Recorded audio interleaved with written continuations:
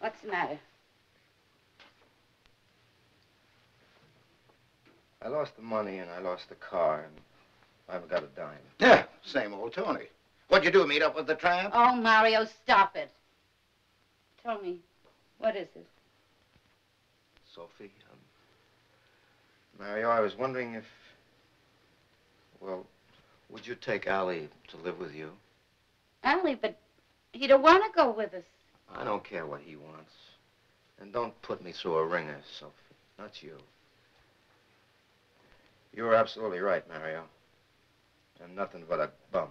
Never have been anything but a bum. I had the money right in my hand.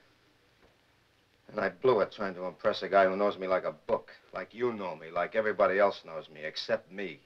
A cheap, chiseling, conniving bum.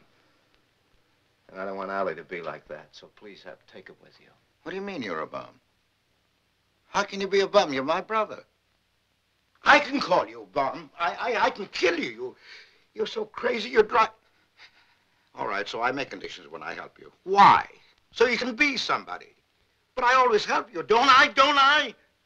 You're not a bum. Nobody in the family is a bum. Now, Mom and Papa, when they came here, what did they have? I'll tell you. Rags on their backs. But they worked hard and they made good. You're part of them. You're part of me. You're no good. Why don't you stop being so crazy? Mario, my foot is down. You go right out there and pay Diamond the rent. He's throwing money down the drain. Well, what are you saving it for? Who are you going to leave it to, Julius? Julius.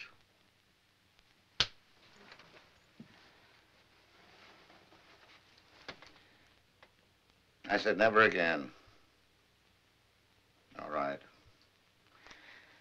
Little boy belongs with his papa. He'll keep this place here. You didn't hear me. I don't want any more handouts. What do you mean handouts? You need money, don't you? But a check not to you, only to Diamond. Maybe he'll come down a little. If you mention money again, I swear I'll...